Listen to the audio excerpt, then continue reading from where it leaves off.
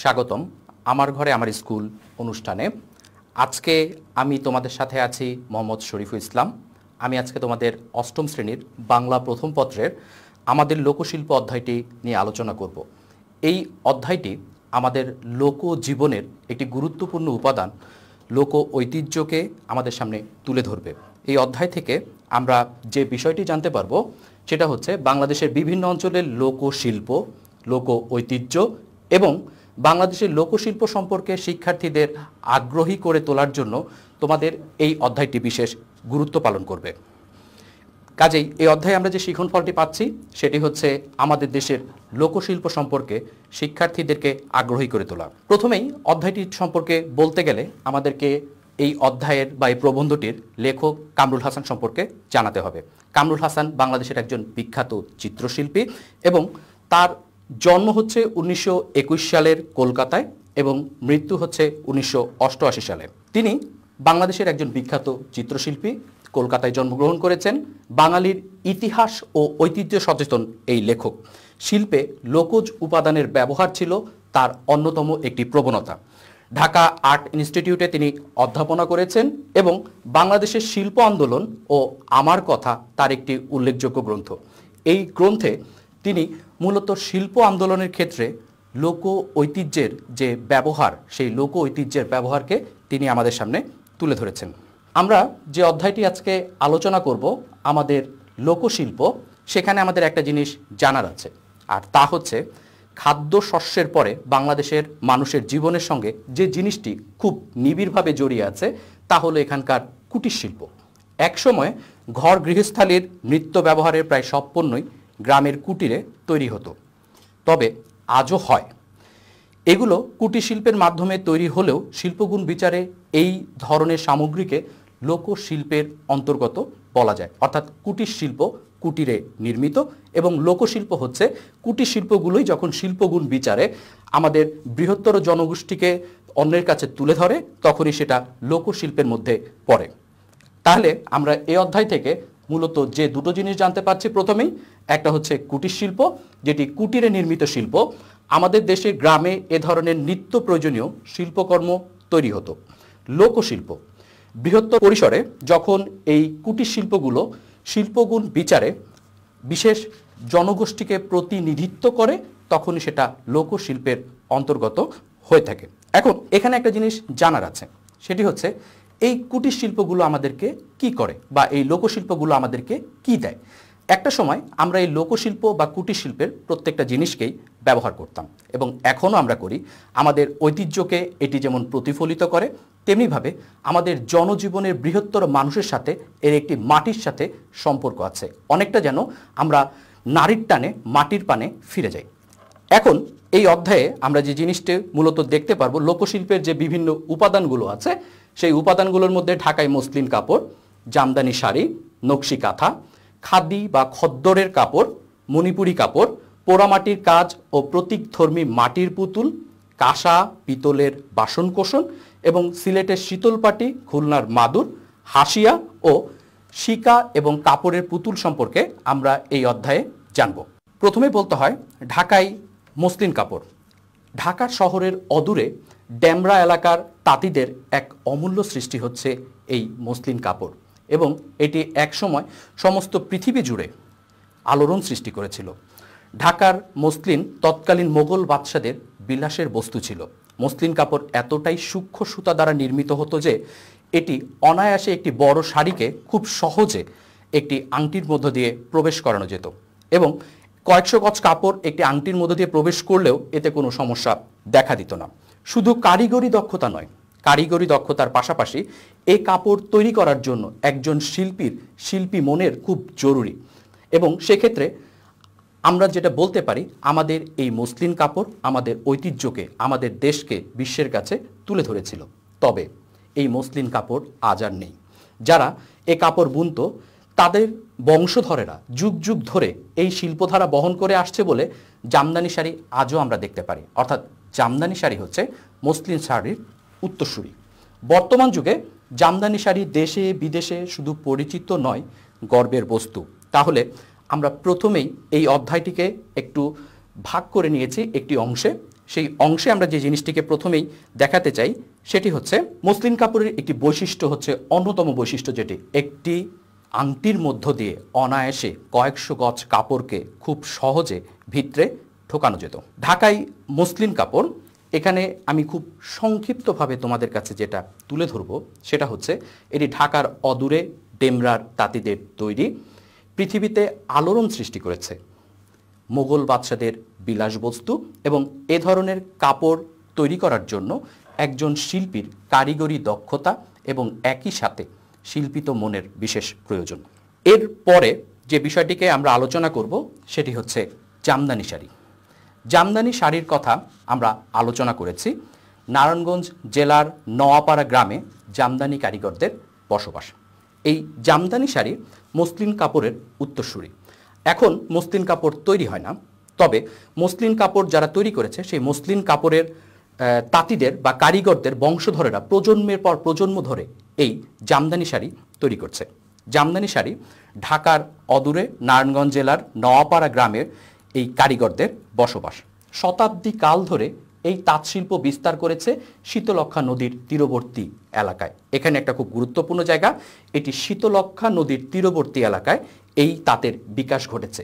বৈজ্ঞানিক বিশ্লেষণে দেখা যায়, এ শীতলক্ষা নদীর পানি থেকে যে বাষ্প তৈরি হয় এবং বাষ্পের যে আর্দ্রতা সৃষ্টি হয়, তা থেকে জামদানি কাপড় তৈরিতে বিশেষ কাজে আসে। এখানে এই জামদানি কাপড় বোনার জন্য এই আর্দ্রতা শুধু উপযোগী নয়, বরং এক অপরিহার্য বস্তু।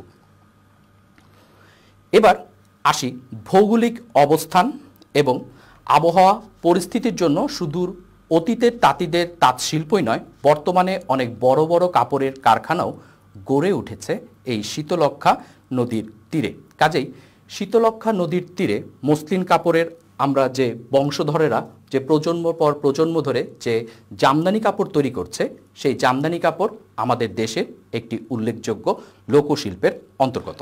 আমরা একটি জামদানি শাড়ির ছবি দেখছি।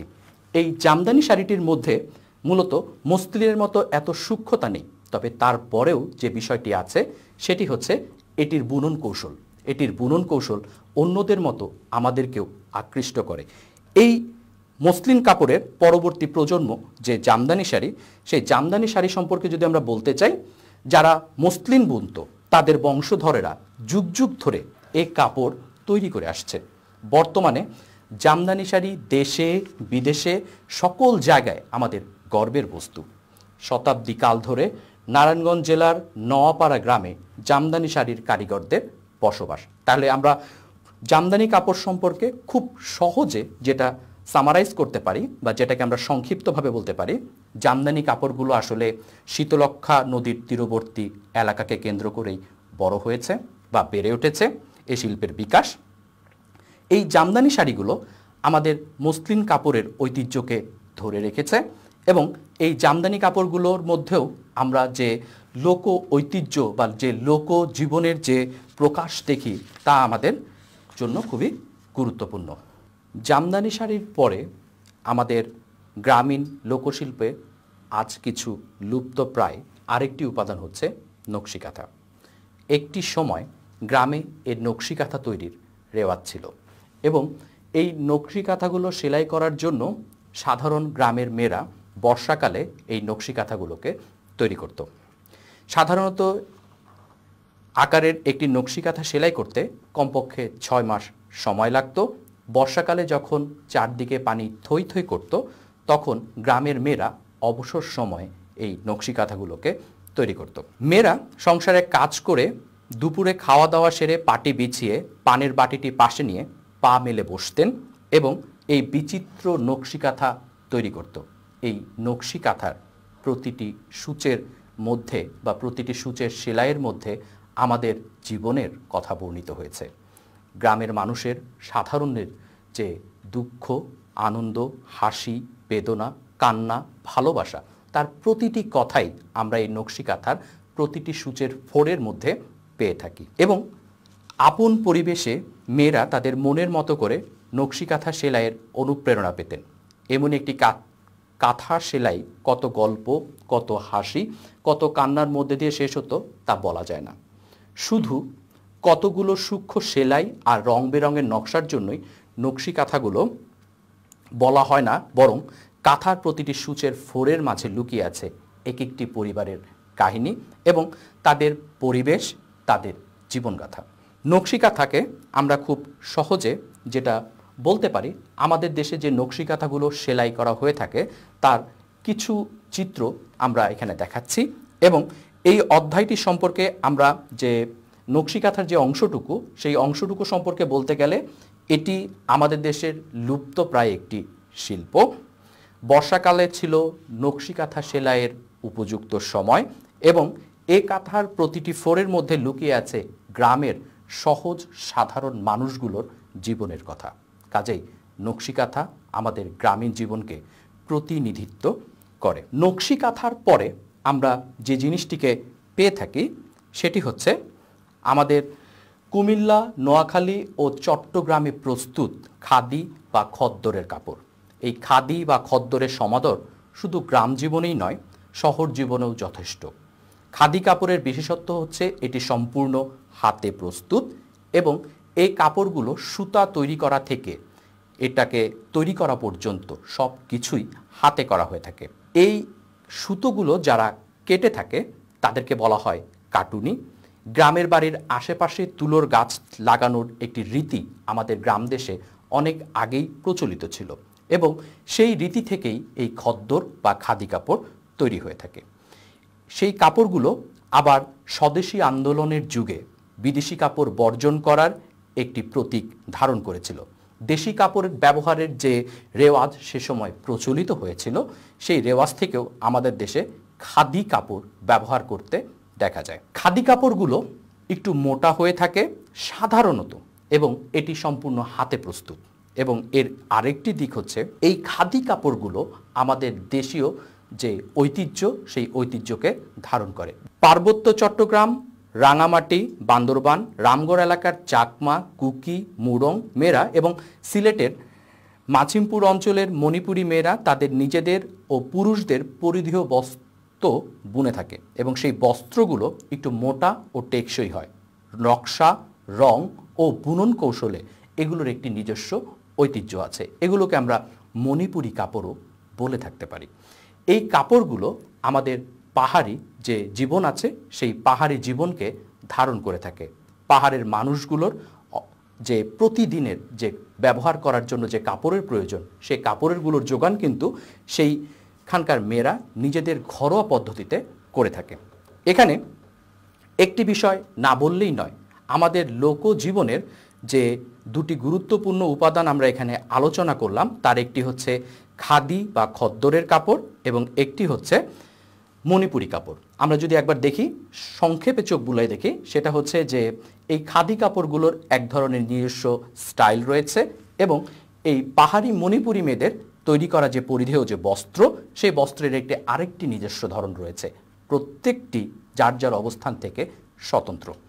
খাদি বা খদ্দরের কাপড়গুলো কুমিল্লা, নোয়াখালী, চট্টগ্রামে সম্পূর্ণ হাতে প্রস্তুতকৃত এবং স্বদেশী আন্দোলনের সময় এই খাদি কাপড়গুলো আমাদের দেশীয় ঐতিহ্য, দেশীয় সংস্কার, দেশীয় সংস্কৃতিকে লালন করেছে এবং সে কারণে বিদেশি কাপড় বর্জনের যে একটি আন্দোলন হয়েছিল, সেটাও কিন্তু এই খাদি কাপড়কে কেন্দ্র করে। এরপরে আমরা যেটা দেখেছি, মণিপুরি কাপড় সম্পর্কে সংক্ষেপে আমরা যদি বলতে চাই, সেটা হচ্ছে পার্বত্য চট্টগ্রাম, বান্দরবান, সিলেট এবং মণিপুরি অঞ্চলের মেয়েরা নিজস্ব ঐতিহ্য অনুসারে এ কাপড় তৈরি করে থাকে এবং এ কাপড়গুলো একটু মোটা ও টেকসই হয়ে থাকে। এখন সম্পূর্ণ যে বিষয়টাকে আমরা এতক্ষণ ধরে আলোচনা করলাম, আমরা তার একটু সামারাইজ করছি। এই লোকশিল্পগুলো সাধারণত আমাদের দেশীয় ঐতিহ্যকে অন্যের কাছে তুলে ধরে। সবচেয়ে বড় যে বিষয়টি আমরা দেখতে পাই, সেটি হচ্ছে লোকশিল্পের সবচেয়ে গুরুত্বপূর্ণ যে জায়গাটি আমাদের দেশের সবচেয়ে বড় ঐতিহ্য বলতে পারি আমরা, সেটি হচ্ছে ঢাকার মসলিন কাপড়। এই মসলিন কাপড়গুলো এতটাই সূক্ষ্ম ছিল যে এগুলোকে অনায়াসে কয়েকশো গজ কাপড়কে আমরা খুব সহজে একটি আংটির মধ্য দিয়ে প্রবেশ করাতে পারি।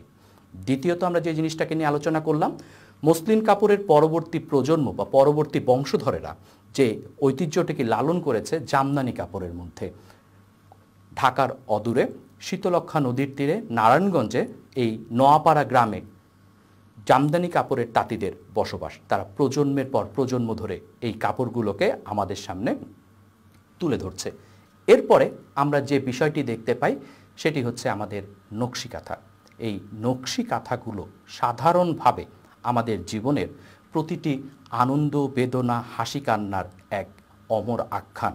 এই নকশি কাঁথাগুলোর মধ্যে গ্রামের মেয়েরা সাধারণত বর্ষাকালে অবসর সময় তৈরি করে থাকে এবং সেখানে যে জিনিসটা খুব গুরুত্বপূর্ণ, সেটি হচ্ছে এই নকশি কাঁথাগুলো সাধারণভাবে আমাদের গ্রামীণ জীবনকে যেমন প্রতিফলন করে এবং গ্রামীণ জীবনকে প্রতিফলন করার পাশাপাশি নকশি কাঁথাগুলো আমাদেরকে আমাদের সংস্কৃতি, ঐতিহ্য সম্পর্কে ধারণ করে রাখে। এবং তাহলে আজকে আমরা যে অধ্যায়টি তোমাদের নিয়ে আলোচনা করলাম, সেই অধ্যায়টির প্রথম অংশে আমরা মূলত লোকশিল্পের কয়েকটি গুরুত্বপূর্ণ উপাদান, নকশি কাঁথা, জামদানি কাপড় মুসলিম কাপড় খাদি বা খদ্দরের কাপড় এবং মণিপুরি কাপড় সম্পর্কে আলোচনা করেছে। এখন তোমাদেরকে একটা ছোট্ট বাড়ির কাজ দিচ্ছি।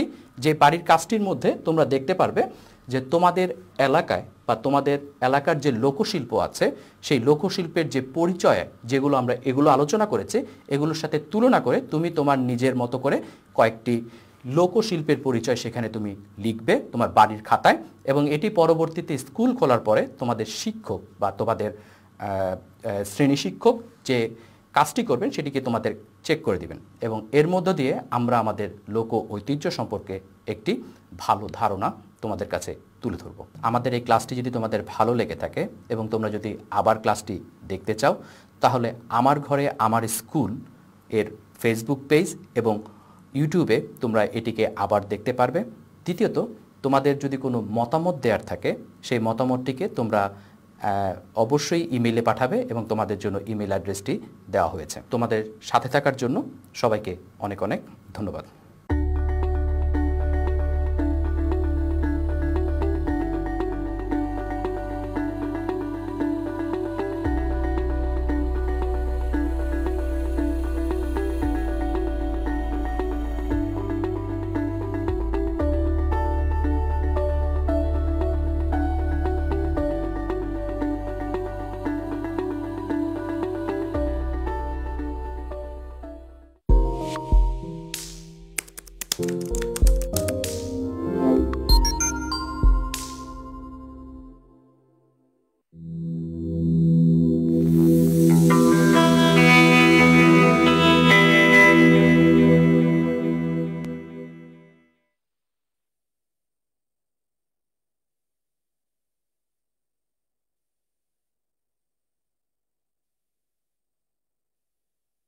করোনা স্বাস্থ্য স্বাস্থ্যসেবা এখন ঘরে বসেই। আপনার স্মার্টফোনে প্লে স্টোর কিংবা অ্যাপ স্টোর থেকে করোনা বিডি অ্যাপটি ডাউনলোড করে খুব সহজে রেজিস্ট্রেশন করুন। সবুজ অর্থ আপনি সম্পূর্ণ সুস্থ। আপনার অবস্থা নীল হলে আপনি ভালো আছেন, দুশ্চিন্তার কিছুই নেই। হলুদ হলে আপনি সাবধানে থাকুন, ঘরে থাকুন। আপনার অবস্থা লাল দেখালে এক বাষট্টি, তেষট্টি নম্বর বা হটলাইনগুলোতে ডাক্তারের সাথে যোগাযোগ করুন এখনই। প্রয়োজনে আমরা পৌঁছে যাব আপনার কাছে। ঝুঁকি এড়াতে করোনা বিডি মোবাইল অ্যাপ ব্যবহার করুন। জনস্বার্থে স্বাস্থ্য অধিদপ্তর।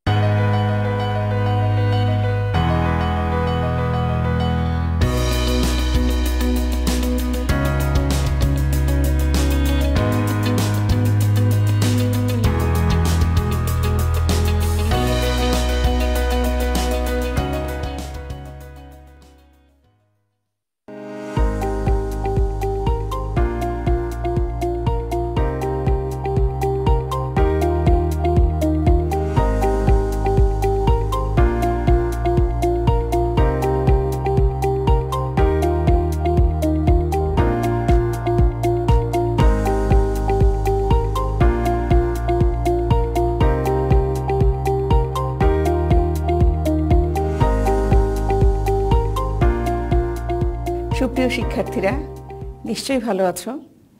আজকে আমরা পড়ব বিজ্ঞানের ষষ্ঠ অধ্যায়। বন্ধুরা, তোমরা নিশ্চয়ই জানো, প্রতিটি মৌলিক পদার্থের পরমাণু, যার যার নিজস্ব এবং একটি থেকে আরেকটি ভিন্ন। একটি মৌলিক পদার্থের সমস্ত পরমাণু একই রকম এবং পরমাণুর মধ্যে যে নিউক্লিয়াস আছে, তার মধ্যে আমরা জানি প্রোটন এবং নিউট্রন আছে। কিন্তু মাঝে মাঝে আমরা দেখতে পাই, এই যে প্রোটন এবং নিউট্রন সংখ্যা কোনো কোনো মৌলিক পদার্থের একই পরমাণুতে একটু ভিন্ন দেখা যায়। বুঝতেই পেরেছ কিসের কথা বলছি? হ্যাঁ বন্ধুরা, আমি আইসোটোপের কথা বলছি।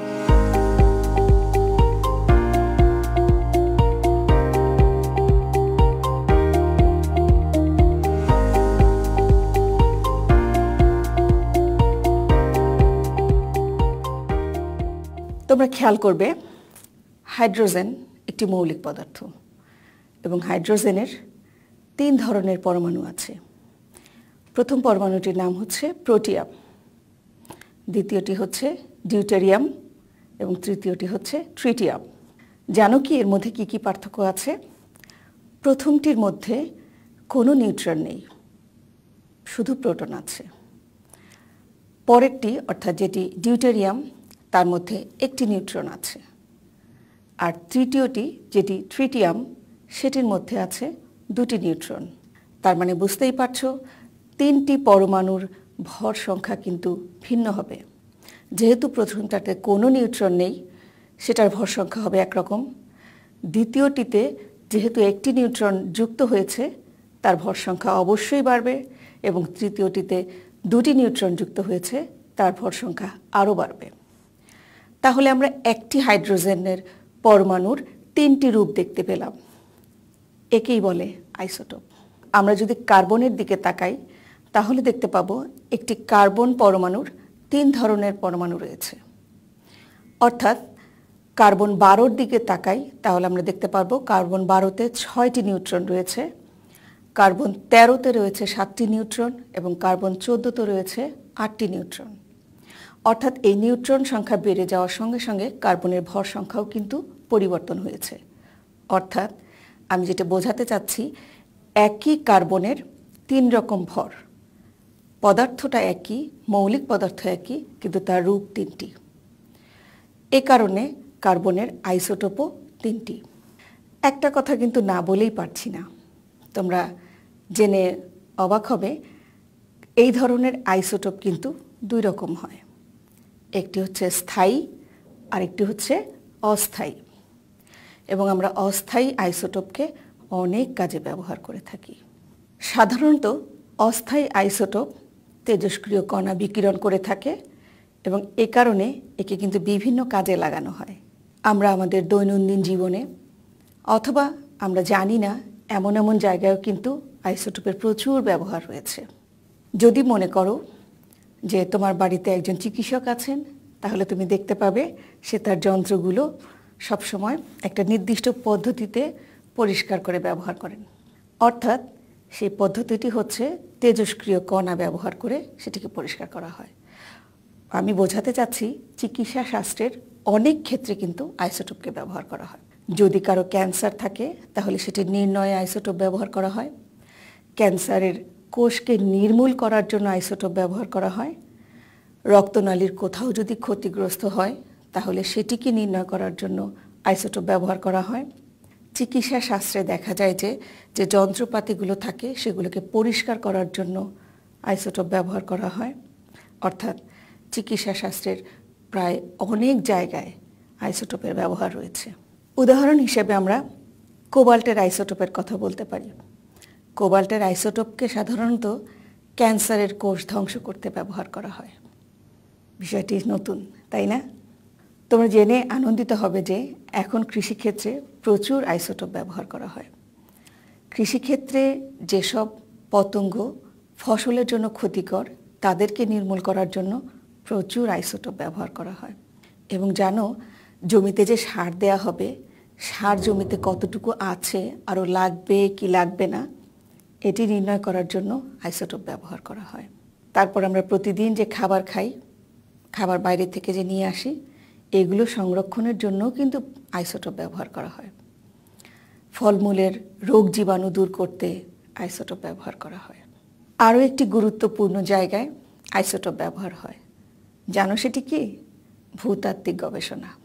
অর্থাৎ আমরা অনেক সময় শুনতে পাই একটি ফসিল আবিষ্কার হয়েছে, অথবা একটি মমি পাওয়া গিয়েছে।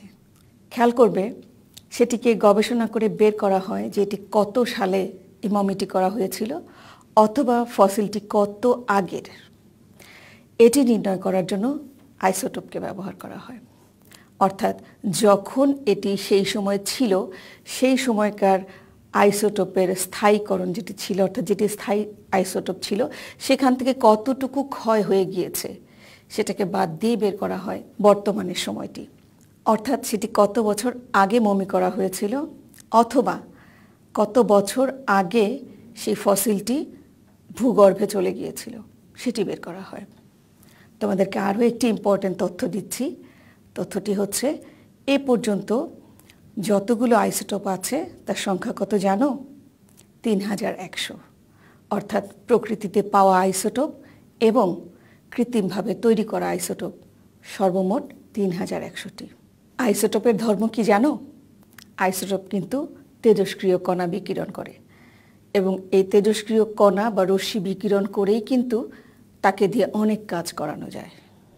আসলে আইসোটোপ কীভাবে হয় সে সংক্রান্ত আমরা একটা ভিডিও দেখে আসি। এতে তোমাদের আইসোটোপ সম্পর্কে ধারণাটি আরও পরিষ্কার হবে।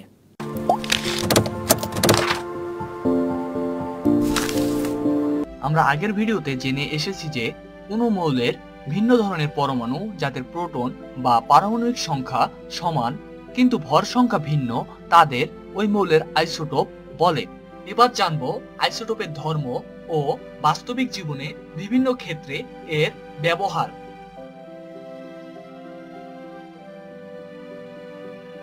একই মৌলের বিভিন্ন আইসোটোপের প্রোটন ও ইলেকট্রন সংখ্যা সমান বলে আইসোটোপগুলোর মধ্যে ধর্মে তেমন পার্থক্য নেই।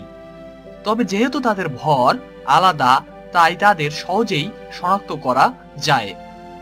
সাধারণত কোনো মৌলের একটি আইসোটোপ অনেক বেশি পাওয়া যায়, কারণ তারা স্থায়ী।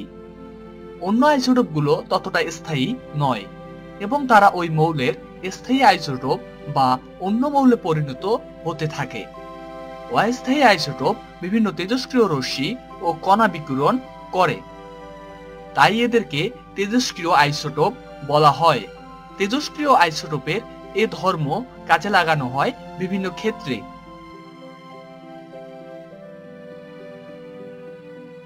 বিভিন্ন রোগ নির্ণয়ে ও নিরাময়ে আইসোটোপের ব্যবহার করা হয়। কোনো ক্ষুদ্র রক্তনালী ক্ষতিগ্রস্ত হলে রক্তের মাধ্যমে আইসোটোপ পাঠিয়ে তা শনাক্ত করা যায়। একইভাবে ক্যান্সারে আক্রান্ত রোগীর কোন কোষ ক্যান্সারে আক্রান্ত তা আইসোটোপ পাঠিয়ে নির্ণয় করা যায়। আবার ক্যান্সার আক্রান্ত কোষ ধ্বংস করা যায় আইসোটোপের তেজস্ক্রিয় বিকিরণ ব্যবহার করে। এছাড়াও তেজস্ক্রিয় রশ্মি ব্যবহার করে ডাক্তারি যন্ত্রপাতি জীবাণুমুক্ত করা হয়। কৃষিক্ষেত্রে পতঙ্গ নিয়ন্ত্রণে আইসোটোপের তেজস্ক্রিয় রশ্মি ব্যবহার করা হয়।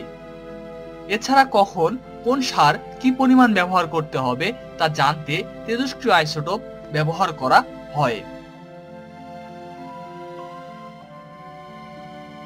ব্যাকটেরিয়া সহ অনেক জীবাণু তেজস্ক্রিয় রশ্মিতে মারা যায়।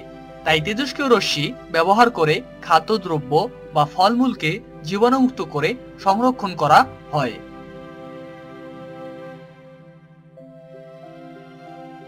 তোমরা অনেক সময় খবর শুনে থাকো যে কোনো দেশে কয়েক কোটি বছর পুরনো ফসিল পাওয়া গেছে। কীভাবে বিজ্ঞানীরা জানেন যে ফসিলটি কত বছরের? এটি জানা যায় আইসোটোপের ক্ষয় থেকে। কোন ফসিলে স্থায়ী ও অস্থায়ী আইসোটোপের অনুপাত থেকে বোঝা যায় ফসিলটি কত বছরের পুরনো। তাহলে নিশ্চয়ই এবার বুঝতে পারছ, অণু পরমাণুর ক্ষুদ্র একটি ধারণা কীভাবে আমাদের জীবনকে প্রভাবিত করতে পারে? আশা করি এই ভিডিওতে তোমরা আইসোটপ সম্পর্কে কিছুটা ধারণা পেয়েছ। এতক্ষণে আলোচনা থেকে আমরা কি কি শিখলাম? আমরা জানতে পারলাম আইসোটোপ কি এবং আইসোটোপ কীভাবে কাজ করে এবং কোথায় কোথায় আইসোটোপের ব্যবহার আছে।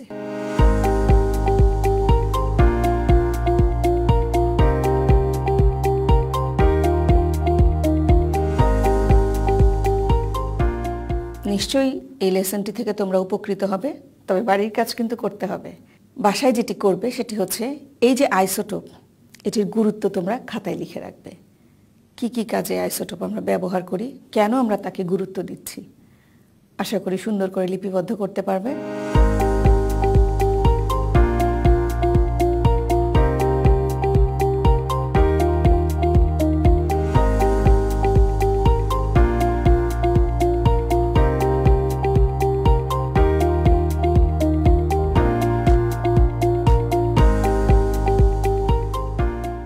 বিশাল একটা জায়গা তোমাদের জন্য খোলা আছে সেটি হচ্ছে কিশোর বাতায়ন। বিশাল